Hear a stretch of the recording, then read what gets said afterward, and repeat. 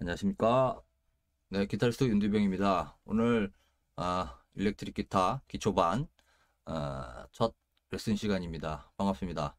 아, 이제 자주 자주, 이제, 음, 오늘 첫날이라 제가 좀 설명을 조금 드리고, 아, 앞으로는 자주 자주, 어, 짤막하게 연습할 수 있는 어, 그런 영상들을 업로드 하도록 하겠습니다. 어, 일단 타겟은, 어, 일렉 기타를 처음, 기타 라는 악기를 처음 시작하는 분들을 타깃으로 잡았고요. 일단 뭐 조금씩 어, 해 나가다 보면 이제 기초 과정, 뭐 중급 과정, 고급 과정까지 어, 보여드릴 수 있도록 어, 노력을 한번 해보겠습니다. 네, 많은 성원 부탁드리고요. 구독과 좋아요 꼭 눌러주시고요. 자, 일렉 기타를 처음 이제 뭐 구비를 하셨거나 집에 있으신 분들은 사실 뭐부터 해야 될지 막막하실 수도 있는데요. 음, 일단 사실 제가 생각했을 때는 어, 좀 중요한 부분이 물론 기타는 이 어, 왼손의 어떤 핑거링과 오른손의 어떤 어, 리듬이죠. 근데 그 왼손도 물론 오른손과 같이 타이밍이 맞아서 이제 연주가 되는 부분인데 일단은 기초 때는 처음 때는 예, 이 리듬을 잘 따라오시는 게 더 중요해요. 사실 어, 왼손은 물론, 물론 오른손도 마찬가지지만 연습으로 모든 게 다 준비가 되겠지만 일단 이 타격을 해서 소리가 나야, 나야 되잖아요. 그죠?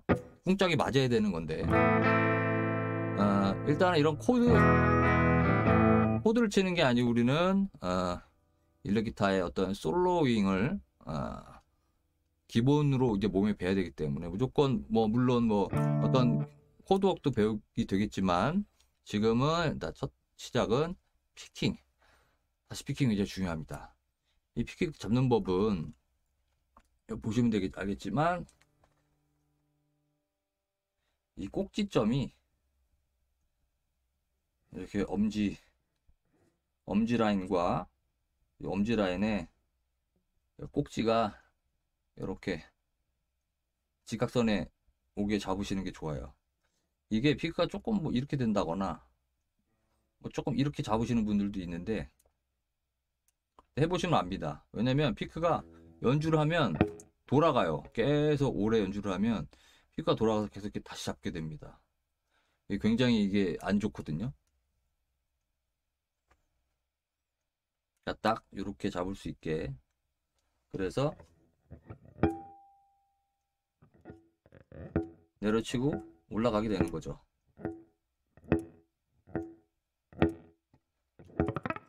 풀 스트로크 할 때도 마찬가지예요. 얘도. 자, 이런 원리인데 막 연주하다 보면 이게 피가 돌아가거든요. 그 안 돌아가게 하는 겁니다. 자, 그래서 처음에는 왼손은 신경 쓰지 마시고 왼손은 그냥 소리 안 나게 잡아주시고 오른손만 가지고 자, 여기 부분을 이 기타에 브릿지 있는 데 있죠? 여기 부분에 이렇게 손을 좀 대시고 이게 소리가 안 나게 이게 뛰면은 소리 나죠? 소리가 안 나는 게 아니고 이게 뮤트된 소리라고 하죠. 자, 이렇게 내려쳐 보면 이런 소리가 납니다. 이렇게 자, 한 줄씩 연습할 거예요. 한 줄씩. 자, 아래로 치는 걸 down picking이라고 그러죠. down picking. 위로 치는 걸 up picking이라고 그래요. 처음에 사실 이것도 힘들어요. 일정하게 칠 수 있는 거. 일정하게. 한 줄만 치는 거죠, 한 줄만. 하나, 둘, 셋, 넷. 하나, 둘, 셋. 다른 줄도. 하나, 둘, 셋, 넷. 하나, 둘, 셋. 4번 줄. 3번 줄.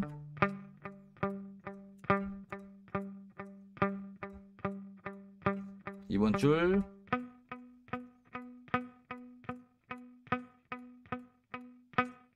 일번 줄.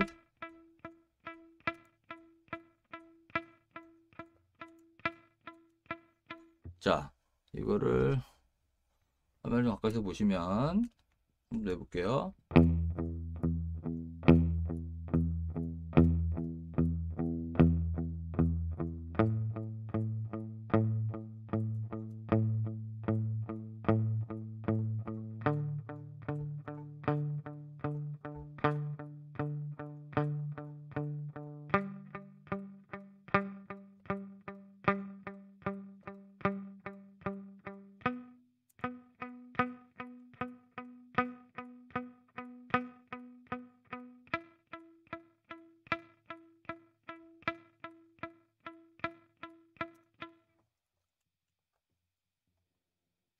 자, 어떠, 어떠세요?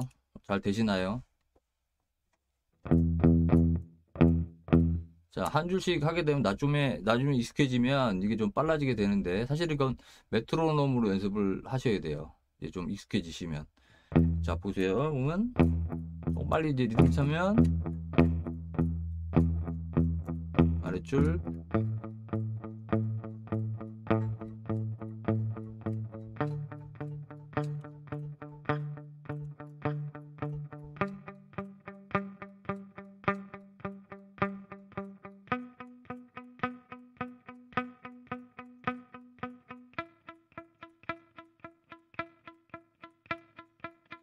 자, 보시면 제가 첫 박에 조금 강세를 주죠. 하나, 둘, 셋, 넷 할 때 첫 박에 하나, 둘, 셋, 넷. 강 양, 양, 양. 이렇게 치거든요. 그러니까 강세가 없으면 이런 느낌이 되죠. 그냥 뚱땅, 뚱땅, 뚱땅. 근데 첫 박에 강세를 주면 오른손에 강세를 조금 눌러서 치는 거죠.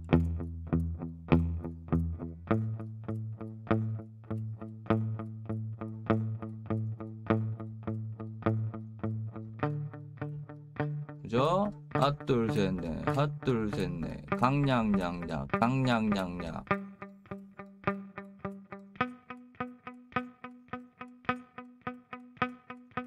자 이렇게 됩니다. 이거가 사실 기타를 처음 잡으시는 분들은 뭐 되게 쉽진 않아요. 근데 뭐 아 물론 뭐 기타를 이제 좀 잡아보셨던 분들은 뭐 굉장히 쉬운 뭐뭐뭐 뭐, 뭐랄까요 뭐 연습할 뭐 거시기도 아니지만 사실 처음 하시는 분들은 이 줄 하나하나 하시기가 힘들어요. 왜냐면 이렇게 한 줄을 하다가 막 아랫줄을 건드리거든요. 막 이렇게 돼요. 예. 그러니까 그한 줄만 가지고 하나, 둘, 셋, 넷 이렇게 네 개씩 협박에 강세를 주시고 자, 이 부분을 여기 이제 기타 브릿지라고 하는데 요 앞쪽으로 앞쪽으로 잘 안 보이시겠다. 자 브릿지가 있죠. 기타마다 좀 브릿지 모양이 다 다르긴 한데요. 딱 요 정도 되겠네요. 요 정도. 그죠? 요 정도를 이렇게 눌러주는 거죠. 이 부분을 이렇게 이쪽에 갖다 대주는 거죠. 일단 이것도 좀 감이 있어야 돼. 좀 앞쪽에다 대면 소리가 먹고요. 너무 뒤에다 대면 소리가 다 나죠. 조금 이렇게 그렇죠. 이 울림이 좀 날 정도면 돼요. 자, 이래서 down만 하면 이렇게 되고요. 그죠? up 이렇게 되는 거죠. down, up, down, up, down, up, down. 5번 줄 4번 줄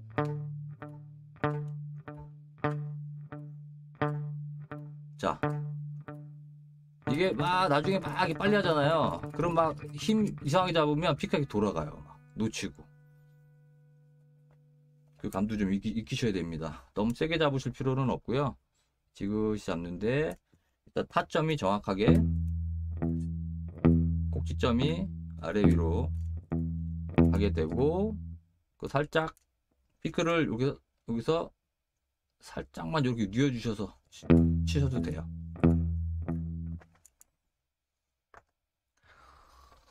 네, 일단은 뭐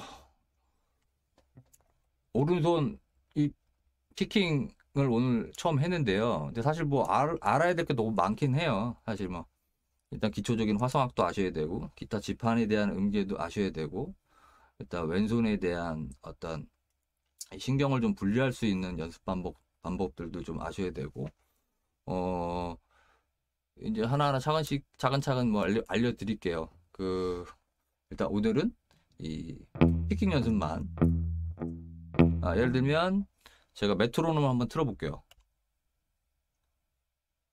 네, 요게 지금 60bpm인데 요 소리 다 듣고 해보시면 셋, 넷,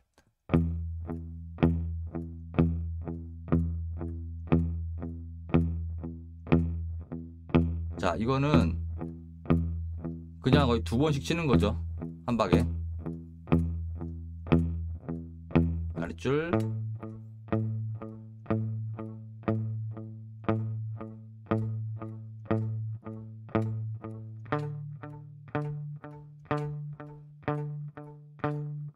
자, 다른 줄 건들지 말고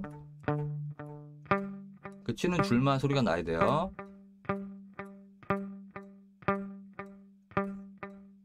익숙해지시면 이제 좀 빨라지겠죠. 요박에 요게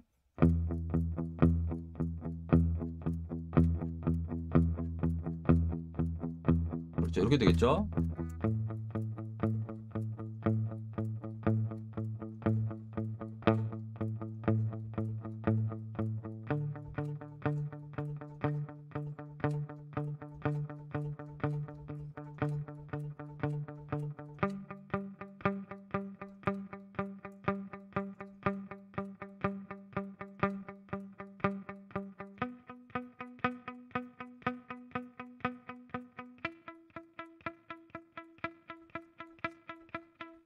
뭐 6번 줄 몇 번씩 뭐 치고 5번 줄 몇 번씩 치고 이거 중요하지 않아요. 그냥 지금은 그냥 러프하게 편하게 그냥 내려가고 싶으면 내려가요 또. 자 여기 포인 오늘 포인트는 뭐냐면 일단 피크를 잘 잡고 말씀드린 대로 이렇게 꼭지점이 나오게끔 잡으시고 계속 연주 이렇게 피크를 칠때 피크가 안 돌아가야 돼요. 계속 피크를 새로 잡, 잡으시면은 좀 잘못 잡으시는 거예요. 피크가 안 돌아가야 되고 한 줄씩만 한 줄씩만 다운업 피킹으로 한 줄씩만 다운업 피킹으로 계속 쳐보는 거예요. 이렇게 이렇게 다른 줄 안 건드리게. 근데 이게 좀 익숙해지시면 웬만한 박자를 맞춰서 연습을 하시는 게 좋아요. 첫 박에 강세를 둬서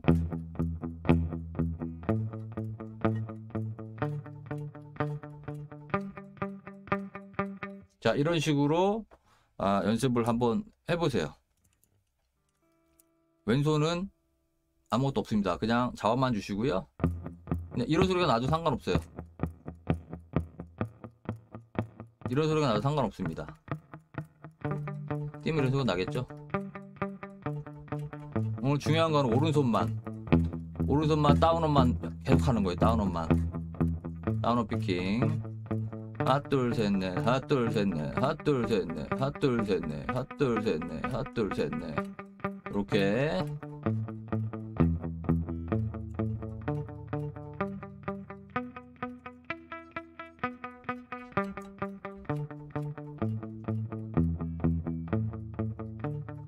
자 여러분들도 이렇게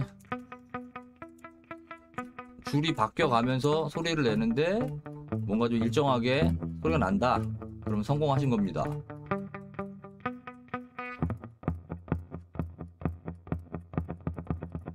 빨라지면 이렇게 되겠죠? 첫박 첫박 첫박